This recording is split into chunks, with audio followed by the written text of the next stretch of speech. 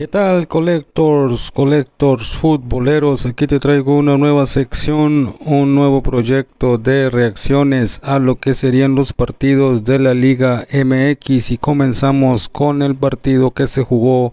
en el Estadio Cuauhtémoc de la ciudad de Puebla entre Puebla y los Tigres. Bueno, ese Puebla que como sufre, como ha sufrido en los torneos. Es un equipo literalmente llanero, un equipo que pues te da un partido bueno y cinco malos. Así ha sido la historia de lo que es el equipo de Puebla. Lamentablemente un equipo con gran afición, gran tradición, pero pues que la ha pasado mal últimamente en los torneos. A pesar de eso, amigos, a pesar de lo que hablamos de la calidad del plantel y de que la ha sufrido mucho el Puebla, literalmente hoy le plantó cara, le plantó partido a lo que son los Tigres de la Universidad Autónoma de Nuevo León. Y la verdad que el primer tiempo fue un uh, primer tiempo muy muy parejo entre ambas escuadras eh, por ahí me atrevo a decir que hubo lapsos en el partido que Puebla lo jugó muy muy bien dentro de todas sus eh, capacidades, dentro de sus limitaciones, pues el Puebla lo jugó muy bien el primer tiempo. Tanto fue así amigos que pues logró ponerse arriba en el marcador eh, en un primer tiempo, como les comento, muy muy bien jugado por parte del Puebla. Los camoteros, bueno, pues se pusieron arriba eh, con gol eh, hecho por Alberto Herrera, un, gol de, larga distancia y eh, muy, muy bueno, por cierto. Y bueno, pues ya en lo que sería el segundo tiempo ya se notó la diferencia más, más aún todavía por parte de los Tigres que empezaron a,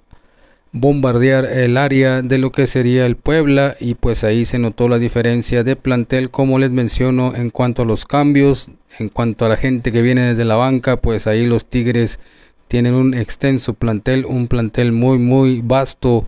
muy extenso y cosa que el Puebla pues lamentablemente no tiene y ahí fue donde se notó en lo que serían los cambios el tanto del empate por parte del equipo de Tigres, pues lo anotó eh, Bruneta, este jugador que viene del Santos, que lo contrataron para esta temporada, que es un Bruneta diferente al que vimos en el Santos, un Bruneta que quiere, que quiere, pero no puede, no se le da, pues hoy, hoy logró anotar su gol, eh, un jugador con mucha, mucha calidad que hace diferencia y pues ahí en Tigres está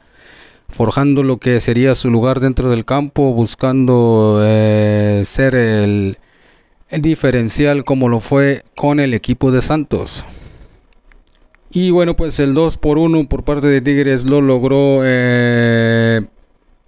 Diego Reyes por parte de los Tigres a pase de Sebastián Córdoba.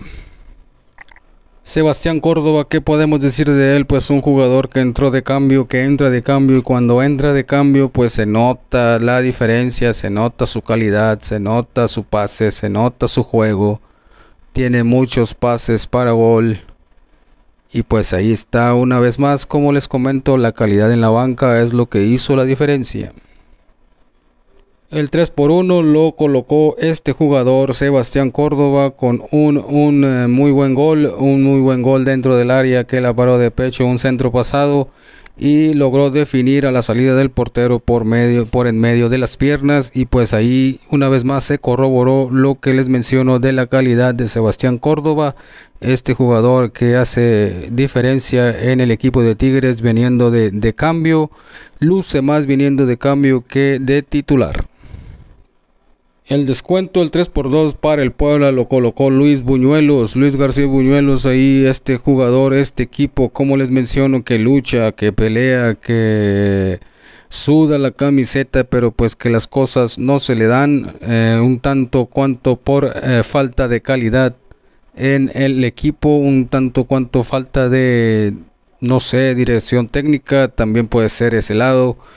pero yo me voy más por la falta de calidad en sus jugadores. Eh, ahí falta alguien que le invierta lo que sería el equipo de Puebla para que pues ahí pueda pelear en los puestos de arriba.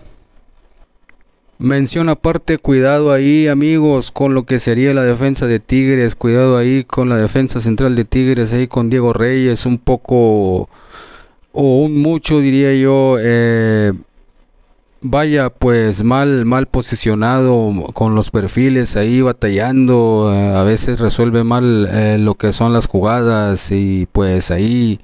es muy cuestionado ahí por su falta de, de, calidad ahí en la defensa y pues ahí Samir también que se me hace un jugador con mucha mucha muchísima calidad que pues en ocasiones este juega hasta sobrado em, y eso pues lo hace que cometa algunos errores ahí mm, de colocación pero se me hace un jugador muy muy muy bueno, de mucha calidad y pues eh, como tiene demasiada calidad a veces como les comento pues juega un poco sobrado y eso es lo que ocasiona los errores que a veces se comete pero ahí mucho cuidado, mucho ojo ahí con la defensa de los Tigres muy criticada también.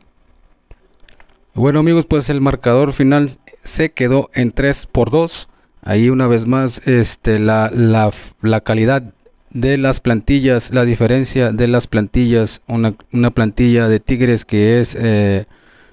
más, más con más calidad y pues la plantilla de Puebla lógicamente ahí un poco eh, batallando ahí a duras penas, pues ahí una vez más se hace presente la diferencia de planteles en lo que sería la Liga MX y el equipo de Tigres se logró quedar con los tres puntos, repito, con un marcador de 3 por 2 sobre el equipo de los Camoteros de Puebla. Y bueno, ahí quedó mi reacción, mi opinión sobre este partido y pues estamos en contacto, nos estamos viendo para más reacciones de los partidos de la Liga MX. Se despide tu amigo Montois.